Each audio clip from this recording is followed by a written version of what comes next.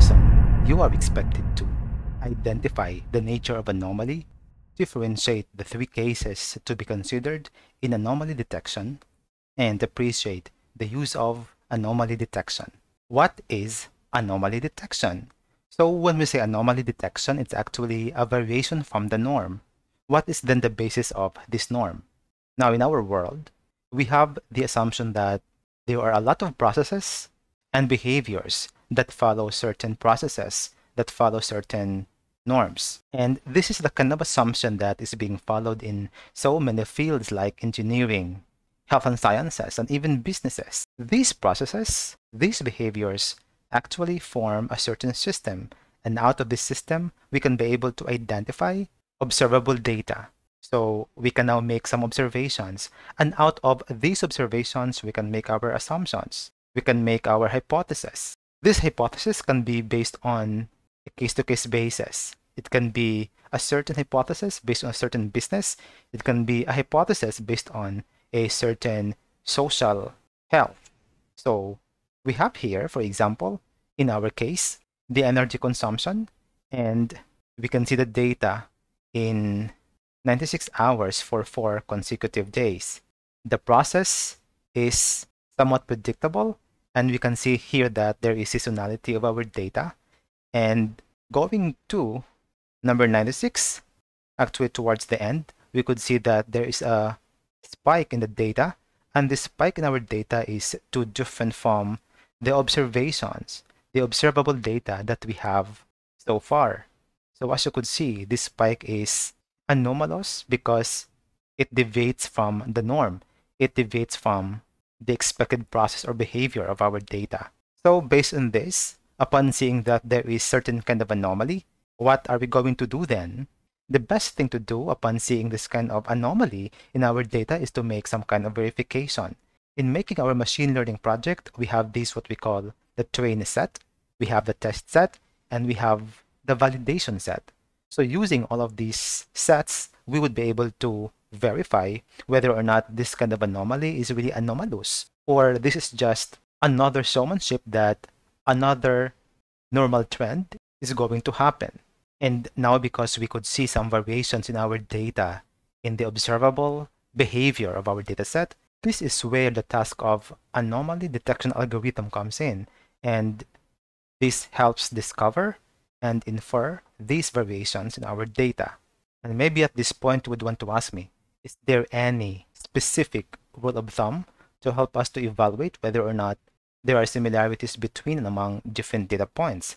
So the answer to that is actually there is no definite rule to measure the distance from one point to another. And with that, we can also say that there is no exact rule of measure that can help us to evaluate how similar one point is from the other. And with that in this course, we would be able to study the different anomaly detection algorithms that would help us do the process of detecting anomalies and fraud in our data.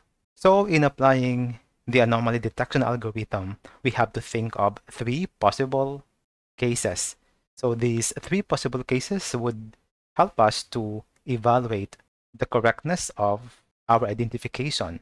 So first is the correct detection, then second is the false positives, and the third is the false negatives. And we're going to have them one by one. So what is this correct detection? This is actually happens when the abnormality that we have detected in the observation exactly match the abnormalities that we can see in the process. But sometimes we can never properly identify the correct anomalous data points. So with that, false positives may come in wherein we identify a certain data point to be a positive anomalous data when in fact it is not. And also, in some cases, we may be able to falsely claim or falsely identify that a certain data point is negative and that is it is not anomalous whereas in fact it is not anomalous so with that we are going to properly understand the nature of our data and how we're going to minimize the false positives and the false negatives of course we can never perfect everything in our identification but we can also at the most we can only minimize these false identifications. Now, the question that would come to mind is this Is 100% correct detection possible in the real world? In the real world, we cannot identify 100% correct detection. And again, as a data scientist, the most that we can do is we can just minimize the error of our identification, whether it could be the false negatives or false positives. So why is this for? Why do we have to study this? Anomaly detection algorithm can be used in so many fields. It can be used in banking and insurance, it can be used in retail, it can be used in manufacturing, it can be used in IT and telecom, it can be used also in defense and government, and it can also be used in healthcare. So when is it used in banking and insurance? It is used to flag abnormally high transactions. It can also be used to flag fraudulent activity and even phishing attacks. What about in retail? When do we use it in retail? Most often, especially in big retail businesses or companies, we do process a very huge volume of financial transactions.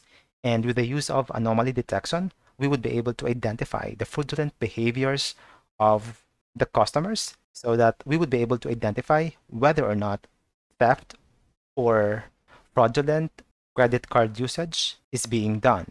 What about in manufacturing? Anomaly detection is very useful in manufacturing because it helps the company identify which of the machines are underperforming and so that it can help the manufacturer do predictive maintenance. And so it can lower the cost of the maintenance and it can also increase productivity. And of course in the end the gain of the company. What about in the IT and telecom? It is very useful in IT and telecom because it helps the company detect and acts on some personal threats to the clients. It can also help identify financial threats to service providers in defense and government, anomaly detection is very useful because it can help the government identify unnecessary spending of a certain agency of the government. So with that, it can help the government save a lot of money. In healthcare, anomaly detection can improve the quality of the health services. A healthcare company avoid loss of huge amounts of money. And with respect to insurance providers, using anomaly detection can help them identify fraudulent claims from hospitals. And with that, it can decide whether or not to approve or reject a certain claim. After all being said and done, let's try this. What is anomaly detection? What are the uses of anomaly detection? Please don't forget to write your answers in the comment down below so that we would be able to learn from each other. Do you want to know more about this channel? Just click these cards. We do have a lot of free data science courses for free like Machine Learning Essentials, Deep Learning Mathematics, and a lot more. Here, you can always learn an upskill for free.